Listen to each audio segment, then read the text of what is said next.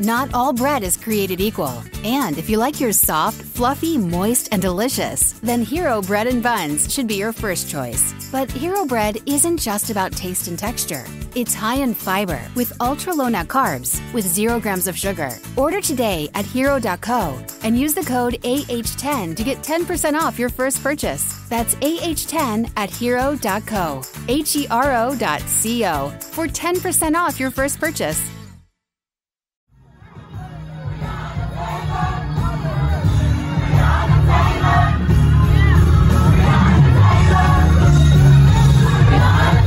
This is Make It Plain. Naked Plane. M.I.P. With Masamela Matfumo. Mark Thompson. Make It Plain. Get woke.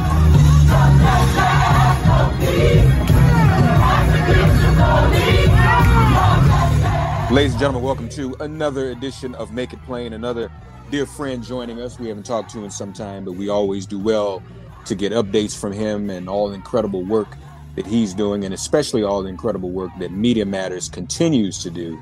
They watch, watch Fox and they watch right wing media, so you don't have to. They keep us informed on all that's going on. We're going to get into all of that with the president of Media Matters for America, MediaMatters.org, Angelo Carusone. Angelo, how are you, buddy? I'm doing well. Thanks for having me. It's a pleasure to have you back once again. First and foremost, where are we on unfoxing our cable boxes? How's that campaign going? Well, you know, we had a big, you know, the next round of negotiations will start over the summer. Uh, and you'll see probably some efforts around targeting Verizon and some of the other providers that are up. But something really significant happened last month. Um, the NAACP uh, reached out to the NFL about unfox my cable box, and the issue there is that you know when Fox is negotiating, when Fox News is negotiating these contracts with cable companies, one of the things that they do is say, you know, we want you to pay us X number of dollars more for Fox News, and you know they'll obviously fight back. And what Fox does is say, well, we're just going to turn off sports. You like you like football, which is because Fox Sports broadcasts the uh, the NFL.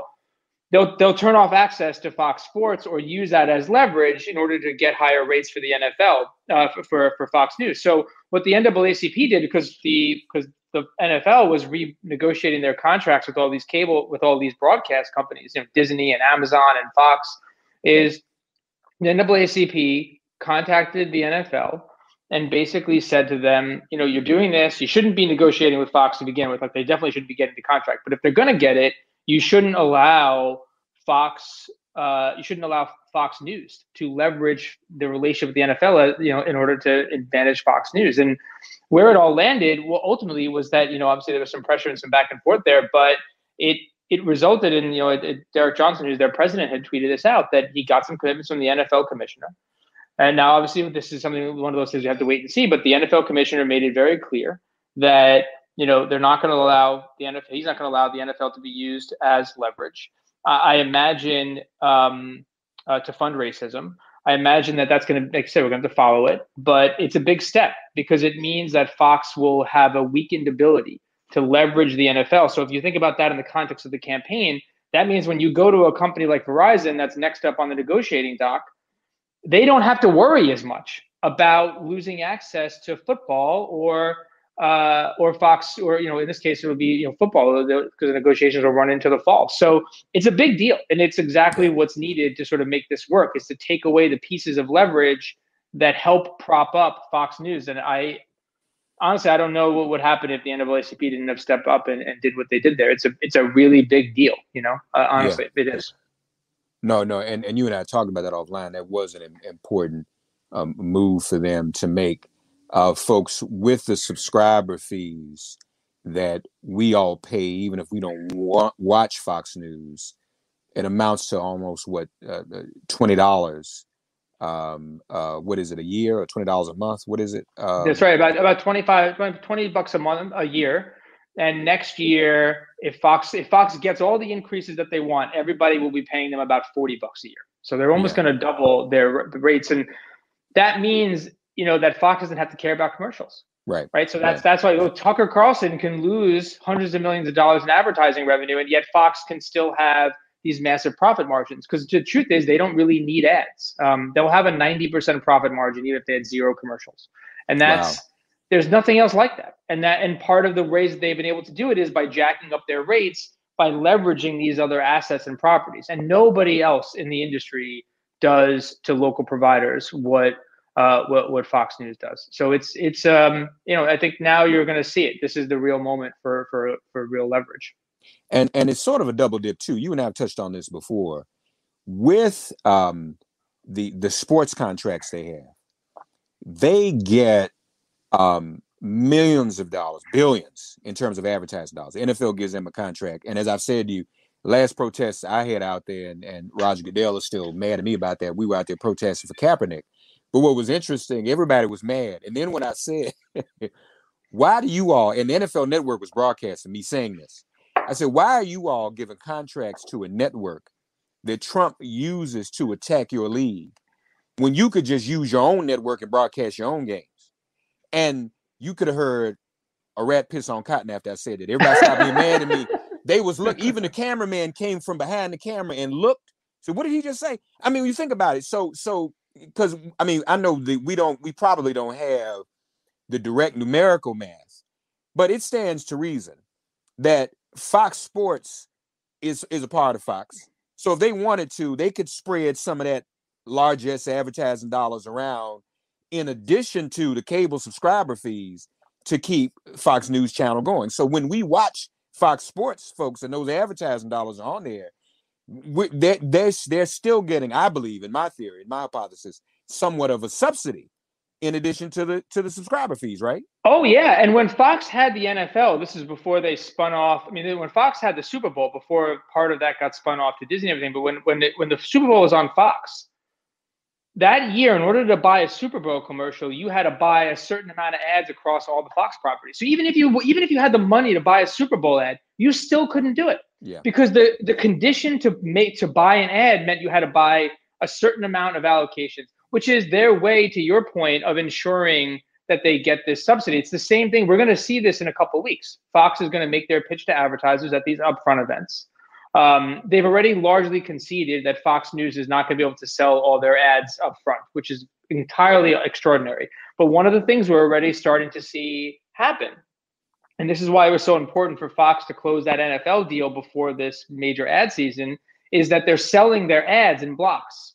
So when you're buying, most ad buyers and, and advertisers now are not just buying Fox News ads, they're buying this this property wide ads. And so you're advertising not on shows or networks, you're advertising to audiences, to different segments of the of the of the of demographics, and Fox is going to kind of distribute them across their their properties, and that includes digital and Fox News and Fox Sports, and it's a way of sort of diluting the toxicity of say Tucker Carlson uh, when you're making these pitches, and also making it clear to advertisers that right. you can't get one without the other. Right, right, right. Why are they still holding on to him? I mean, they've gotten rid of other people in the past. He just had a meltdown over the Chauvin trial. People even talking yeah. about that maniacal laugh he has, like something in a horror movie. Uh, what what what is? Why are they still so wedded? Timothy, I mean, Beck's gone, O'Reilly's gone. Um, what is the their weddedness to Tucker Carlson, Angela? He is uh, he is their future. They can't survive without him. They could survive without mm. Hannity. They could survive without everybody else, but they can't survive without Tucker for for two big reasons. One is that he reaches a, the the next wave, this next the next demographic wave. Uh, his audience skews younger than the other hosts do. They are not na- they're not native TV first. You know they're they they're off channel, which means that he can they they can invest in digital assets that allow for them to grow. The second is that Tucker will torpedo them with the Trump audience. I mean, they, you know, Fox's relationship with their audience is hanging on by a thread. There's a lot of distrust and discord. Um, they've lost they've they've hemorrhaged viewers to Newsmax and also to just you know Telegram and online properties. And so part of it is that you know if, if all of a sudden they get rid of Tucker, uh, that's the that's the final proof you need to show that hey Fox is really against us now, and that will be the end, right? You know the audience will fully cannibalize Fox News. They realize that, and the last thing, and this is just a wrapper, and this is the part that really scares me, honestly, and it should, is that Lachlan Murdoch, who's the CEO, loves him. He just straight loves him. He agrees with him. He likes him. And so there's something that that to me is very disturbing about it is that they really believe in Tucker Carlson. At least Lachlan does. That and that is a a very different kind of future, which is one that is much more ethno-nationalist, much more racist, explicitly yeah. so. I mean, they yeah. are really leaning into that, and that's what they believe. That's their worldview, uh, at least Lachlan's, and it's a it's a much more unsettling uh, direction, to be honest. Um, so it's partly necessity and partly that they're they're just that villainous now. More MIP after this message. And they want to, I guess, continue to compete with some of the other uh, up and coming right wing sites like One American News Network. They want to compete with it. Is is One American News Network? Are they getting advertising dollars? Are they? T- are They're they- not getting advertising dollars. Thankfully, there's no advertising. They have not made any advertising revenue in adver- uh, They've not made any revenue in advertising. But the crazy thing about One American News is that they are only picked up by one cable provider. But they are, and how they got this is way too long of a story. But the fact is, they're only on one cable provider, DirecTV, app AT and T. Um, and uh, Jesus. But they they get so now uh, they are on only in 20 million households. Almost nobody watches them. They have very very few viewership. They are more profitable than Newsmax is, even though Newsmax is on every single cable uh, channel in the country. They are in 70 million households. They are more profitable, and Newsmax has more advertising revenue too. And the reason they're more profitable is because One America News costs more money than Bloomberg does. It's 11 cents a subscriber, which is almost like about a third of what MSNBC gets. Um, and now that deal is about to end, and One America News thinks that they can get themselves on every cable channel, but cable provider. I don't think that's the case. But it just goes to show you how powerful those cable contracts are. You know, Glenn Beck gets a penny. He's on he's on two providers, the Blaze. It, it, you know, that's a lot. That's still a lot of money. Uh, you know, when you add it all up, it's millions of dollars. Just even if just one penny from all the cable cost providers. So you know that's where the this is a, is an issue. They understand the business side of it. So One American News doesn't really have a lot of viewers. Um, they don't, but they get they have great profit margins because they get they have one cable contract which just is about to expire, and then after that, it's an open question as to whether or not they can survive or not. Just one other thing on Tucker. So does he? And folks, I don't watch it. You, ladies and gentlemen, I know you don't watch it, so I don't know. So does he have no commercial advertisers now, or just what the pillow people and the and the teddy bear? What what does he have? What commercial? Yeah, that's basically it. Does he yeah, even I mean, he's got he's he, Fox Fox News is Tucker Carlson's second biggest advertiser. They buy they buy up almost Jesus. as much airtime as as My Pillow does on his channel. Buy it. They don't even run promos. They're actually been buying ads to advertise Tucker Carlson's Fox Nation show, which is their subscription service. Um, I mean, he just right. there's just nobody left. I mean, it is really it's an incredible thing to look at. it, it is it's mostly my pillow. There's a couple stragglers here and there that pop up, but they're mostly just scammy direct response advertisers. Um, you know, he just he's got nothing left, and they will keep him on. And that is that is the part that's just remarkable is that they, you know, when they fired Glenn Beck, the Fox person who's still there said, you know, he had no advertisers and he's in the industry and he knows everybody knows that when you don't have advertisers, you don't have a show. That's what they said.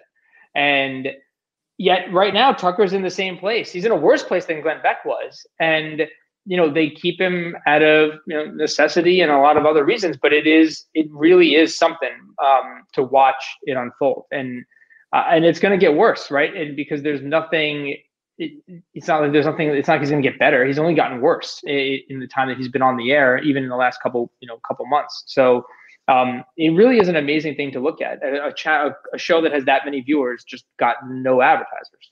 It's just it really.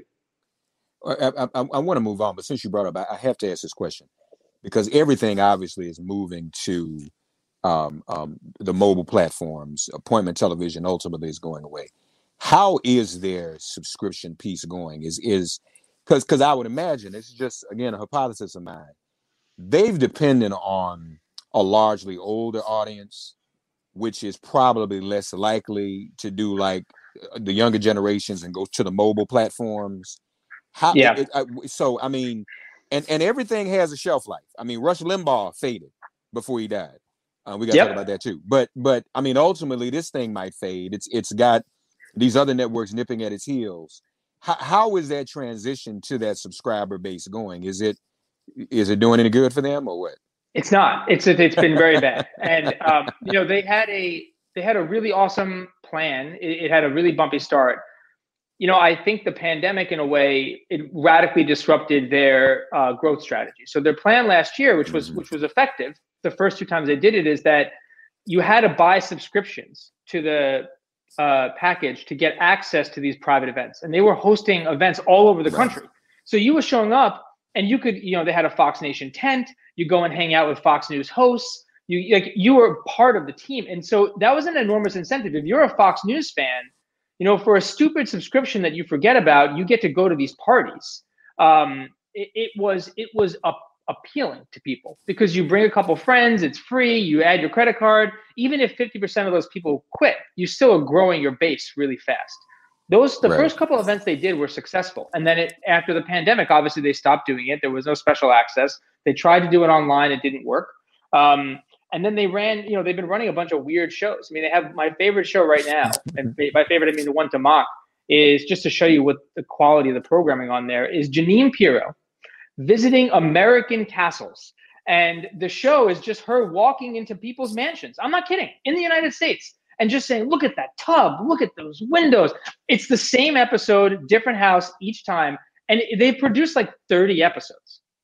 And so it's just Jeanine Pirro showing up in full form to big people, big mansions, and just in the middle of a pandemic and a man, you know, and just a marveling at the tubs and the tiles. It is I swear it's the same show every time, but it is, you know, and oh, the whole point is Europe has nothing on us because America built all these amazing castles, and look at our castles. And, and that's the thing; it's about how America builds better oh castles than the rest of the world. And it is my and the thing is, a third of the castles that she visits are actually castles that some rich person basically bought from Europe and had moved over stone by stone. So it's not even like they're ours. That's the show. That's like one of their top shows right now, too to give you a sense of what is on Fox Nation. So it's not like they have a huge draw either. It's that, and that's the show. You know, and it's. Oh my god. I know. I mean, oh that's. but you know, I, I, I want to move on, but I still can't help it. Wait a minute. And what in the world is this Greg Gutfeld show? Is he trying to do a, a, a, a nighttime comedy? What is that supposed to be? Yeah, they think it. You know, he. You know, Greg Gutfeld got his start on Fox News. He used to have a show at 3 a.m. Right, right, live. right. It was called Red Eye. It, they basically moved him into the 11 o'clock slot, and it's part new. They, they got rid of an hour of news programming, that they, they say news programming, to put in Greg Gutfeld. But it is supposed to be, you know, news and comedy mixed together, but it's it's nearly indecipherable. I mean, from the rest of their programming, I think I, I don't know why they keep investing in this guy, but think about it. He's on the air more than almost anybody else on Fox News now. In fact, he, uh, day by day, there's nobody on Fox News more than Greg Gutfeld. That's how big he is because he's on a full hour at the five and then a full hour on, at 11. I guess the Fox and Friends people are on in the morning for the for three hours, so I guess they win. But otherwise, Gutfeld is it. Wow, wow, yeah, yeah, and and I mean, the critics have been talking about. I mean, I mean, the bad writing, everything is just a is just a mess. And of course, they're still themselves. The reaction to the Derek Chauvin trial was characteristic of Fox. Um, yep. I mean, trying to to justify his behavior, trying to be in denial about what really happened. That was still rampant on on Fox News, wasn't it? Yeah, I mean, I mean, Tucker was describing Chauvin as being lynched that it wasn't a fair trial. You know, at the same mm-hmm. time, you know, so the calculus, you know, they always have threads, right? There's one section which is that, you know, the media and liberals unfairly malign Chauvin. I mean, they literally, Tucker really made the argument repeatedly that he had been lynched. Uh, and I don't think it was an accident that he used that description. And um, so there's one thing, which is that like it was sort of a setup.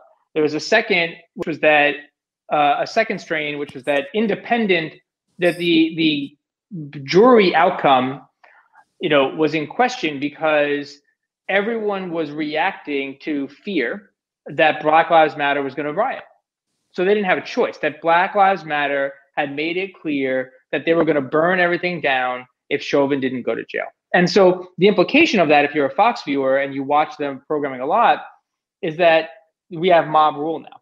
that you know it's not just Chauvin that basically they can target anybody, and now the justice system has to capitulate. That was a big thing that you know Gutfeld and others had been arguing is that it didn't really matter anymore. You couldn't have an honest conversation about the validity of the trial.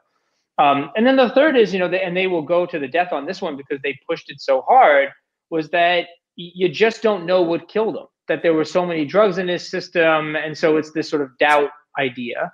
Um, and then to put a bow on all of it, because no matter what they all said, they all ultimately concluded that this was a hallmark of American justice, right? This proves that there's no systemic racism. This goes to show you that justice is served. Um, and so there's this strange tension where they want to hold it up as an example to to discredit the idea that there needs to be any sort of police reform or reckoning with racial justice, especially in our in our uh, in our in law enforcement, and yet at the same time say that the entire verdict is basically either a setup or was the well was poisoned, and mm-hmm, mm-hmm. and the audience just eats it up. You know that there's no there's no consistency in the argument that they make um, that they make at all. You know, the only person that has been bizarrely weird on this is you know Hannity in particular. Uh, it's not that he's been some vanguard, but he is he has probably said at least 150 times, maybe more, that his critique of what Chauvin did is that he personally, Sean Hannity, can restrain someone with two fingers, and so he doesn't understand why you know he needed to kill someone because Hannity could have done it with two fingers. And so his critique is that me, Sean Hannity, I train, you know, special combat every day for two hours. I can restrain anybody with two fingers. So the fact that they killed him or that he died in custody is poor training. We need more law enforcement to take the Sean Hannity School of Martial Arts. That's why I say it's weird. Yeah, yeah. It's like well, sort of promoting his new product, you know. yeah, yeah. Well, well, well, well, yeah. They're all weird. They've always been weird. More MIP after this message. So you now, I'm going to give you the honor of uh, having the final word and the eulogy on Rush Limbaugh. Ooh. I mean, he, um, he, I mean, he made everything worse and to me, that's the part that you know, a lot of the eulogies and everything and, and all the write ups didn't really capture it. Um, and I think in perfect Rush Limbaugh farm form, the very last thing he did on air was to attack Republicans for criticizing what happened on January 6th. He did this on January 7th.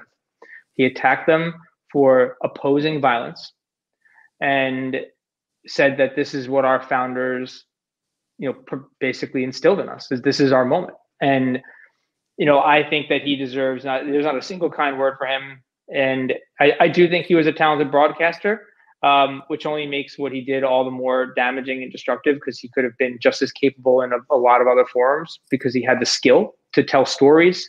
Um, but ultimately, he was an awful, toxic, destructive force who did nothing but harm intentionally. So, and I, I don't think he should get any pass. And I, it is really unsettling that there was even a little bit of good being written right. about him. To be honest. Right. Well, and two, isn't it true that at the moment the stations that were running his show were just running replays? Um, Still. Yeah, because I mean, I guess they don't know what to do. But it seems to me, as he was beginning to fade, so does that model. I don't know that people want to listen to somebody run their mouths exclusively for three hours anymore. Um, and, and so hopefully, not only is he dead, but that format will ultimately be dead too. And Lord knows that format, you know, he took over. What he did was take over the uh, talk airwaves across the board so that uh, our side or any other side for that matter could not even break in advertisers were exclusive to him if you started a show on another in another format you couldn't get advertisers it was just solely him so hopefully I mean, the fact that they're still playing replays, how long can that last? Hopefully, all of that will go away. I sure hope so. I mean, I think they will last at least a night. I mean, some of the stations are going to run replays for at least the rest of the year, um, and maybe more. And you know, there will be some of the the ones in the middle markets will start to break off, and they'll each go to different people. Like Dan Bongino will get a show, but Dan Bongino cannot do what Rush Limbaugh did. Dan Bongino is not good. You know, he's not. You cannot listen to Dan Bongino. you just can't listen to him talk for right. three hours. He's not. Right. He's not a talented broadcaster. And right. you know that's going to be the struggle. Um, there's no one to step in to fill that spot. Laura Ingraham desperately wanted it. She's not going to get it. Um, it's going to end up getting chopped up, and and that's you're you're right. What he did, and to me, of all the things in his eulogies and all the write ups, the one thing that was missing, I didn't see in any of them that I really wish somebody wrote about was you know the, all they they all talked about the fact that he built the industry, like you said, but what they didn't talk about was that one of the things that he did do was kill it yeah with the Sandra yeah. Fluke stuff, and but also by by snuffing out and forcing his show onto so many stations, even and wiping out all the local programming. There was no you know talk radio as a format. That's that's the part that really suffered is that we it got rid of so many local talkers, and right right that right, that really was an awesome part of radio and Yeah, yeah. format for a while, and he killed it. Yeah, as a as a former, I, I got my start in local talk radio, and not just Rush, but just national syndication in general. Yeah. killed local talk radio. And those of you who are not familiar, the power of local talk radio, Ooh. you you really miss something. Um, and and it, it'd be nice to get to get back to that. There, there's really no substitute for it. Um, There's not. and and and Russia was a big part of of of killing that off. You know, maybe there's a way to get back to it. Um, I don't know. So, is the website still up? Unfox my cable box. Can people still? Go It there? is. It's still signing up, and I think you'll see the next action will probably go out in the next couple of weeks as we gear up for Verizon, um, and uh, and that will be the next big fight. You know, Fox has been holding off uh, renewals because they wanted the pandemic to lift a little bit, and they wanted sports to start coming back. They wanted to get this Right. NFL deal wrapped up. Um, I think you know things are now going to get back to where they were. Basically, everything was paused for about a year, at least on Fox's end, because they wanted maximum leverage. We're back to where we were, uh, and I think you'll see everything. Everything is going to pick up steam now in June. This is our moment. This is it. Now these contracts last for years. So by the to your point earlier, this is the last big round for Fox, and you know if they get a successful negotiation, they will be secure no matter what happens for the next four or five years. After that, all the transitions in the marketplace and everything, they'll have time to adapt uh, and to adapt on their own terms. I'd rather not give them the, the benefit of that. I'd rather make No, you know make it hard for them to adapt. no, no. Nip it in the bud. Uh, so I just be precise. Unfox my cable box Dot com. or dot com. Dot com. Okay, I'm sorry. Yeah. Dot com. unfoxmycablebox.com, folks, to stay informed stay involved. The president of Media Matters, do check them out. Uh, again, folks, I can't stress enough the important work Media Matters does. We are all so influenced by the mainstream media, and they watch very carefully and give us a. It's okay to look to me, whatever you want to look at is fine. But what Media Matters helps you do is give you that it gives you that third eye to discern what you've seen, and you'll be surprised um, at what they're able to share. Uh, and once you develop that skill, you are able naturally to look at any medium with um, your own discernment and with your own third eye. It, it, it- Media Matters gives us all a skill to do that. You'll never be able to look at anything quite the same and think, oh, this is just the story, the end of the story, what I'm getting. There's always more to it. Just like when we go to a restaurant and order food, we want the waiter to get the order right. This is the same thing.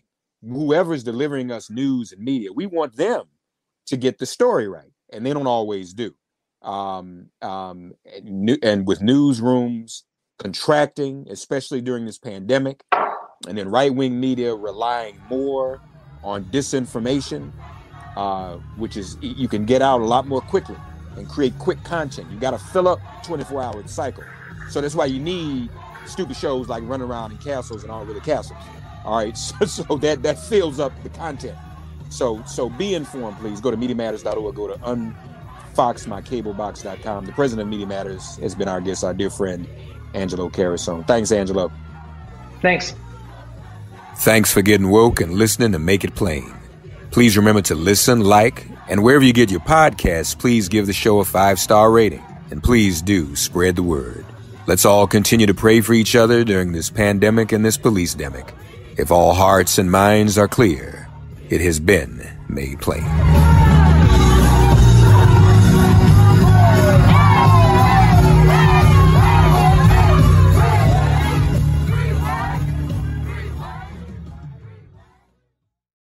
Nice buns, soft, fluffy, and ultra low net carbs. Discover Hero Bread, the delicious ultra low net carb bread with incredible taste and texture. Hero Bread has zero grams of sugar and is under 100 calories per serving. Plus, high in fiber with 5 to 10 grams of protein per serving. Order from hero.co now and get 10% off your first purchase with promo code AH10. That's 10% off with code AH10. H E R O dot C O.